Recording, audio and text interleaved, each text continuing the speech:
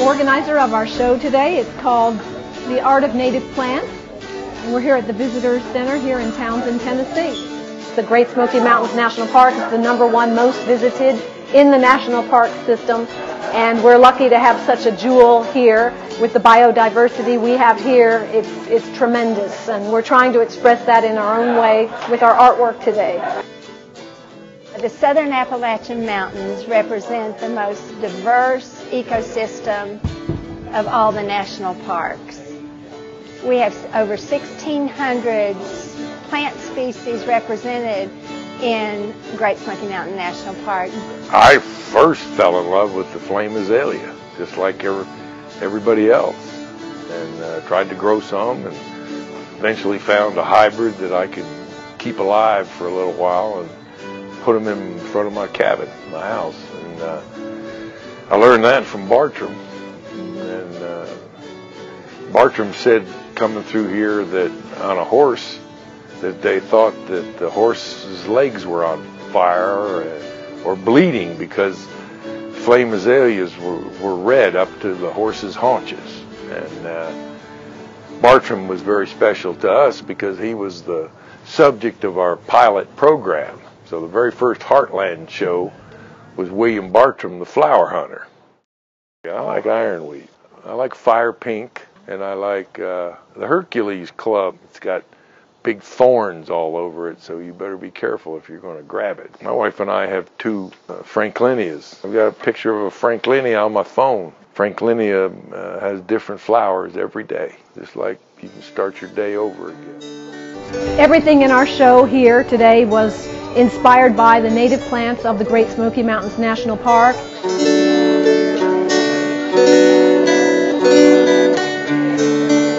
Well, I was invited in to show uh, some examples of what's growing in the Smoky Mountain National Park that has to do with wood. So in the wood turning, this is a hickory bowl um, made out of a hickory, hickory tree. It has spalting on the inside of it.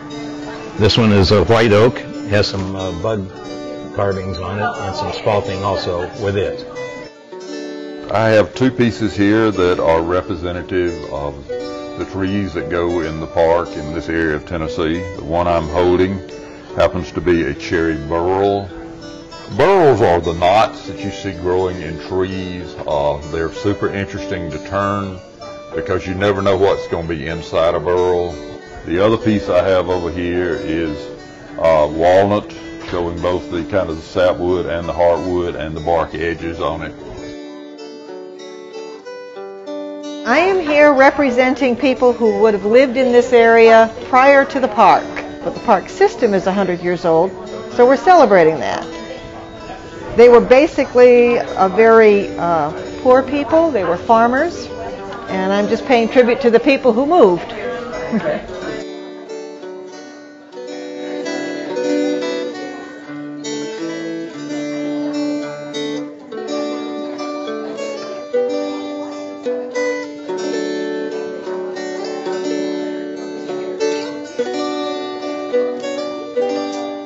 have you ever been hiking and uh, it starts to rain slightly? And have you ever watched the rain fall on the leaves and fall on the ground?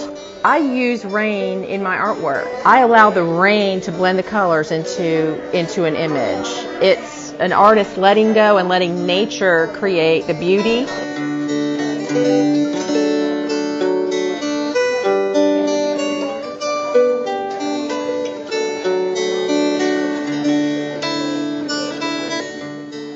I shoot all my pictures in the Great Smoky Mountains. I think this park feeds people's soul. Um, it really is a way to get back in touch with yourself. Uh, all you have to do is go find a rocky river or a wooden a, a path full of ferns and wildflowers and you can escape anything that's bothering you. I think there's a lot of people in our country that if it wasn't for the national park wouldn't have a clue. Uh, they're born in a city, they they learn to ride bicycles and skateboards, and they don't know nothing else. They don't know what a tree actually is, don't know what a stream smells like, or they don't know the the enjoyment of just walking through the woods and then seeing like a deer or a turkey in its natural habitat just walk across and just enjoy watching it. it don't, you don't have to do anything. It's just being there.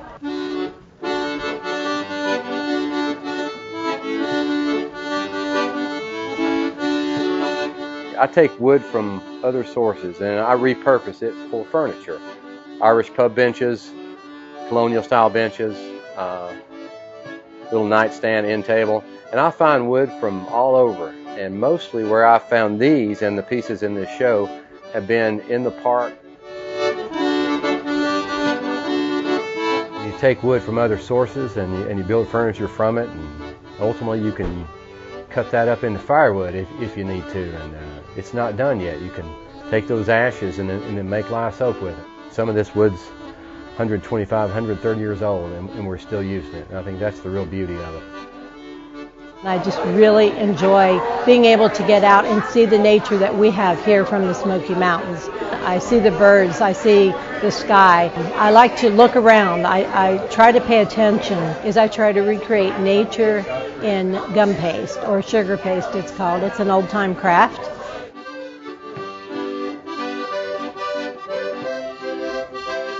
I encourage everyone to come out to the Great Smoky Mountains National Park, come and see the natural beauty that we have. We're very, very lucky to have this fantastic biodiversity right at our fingertips.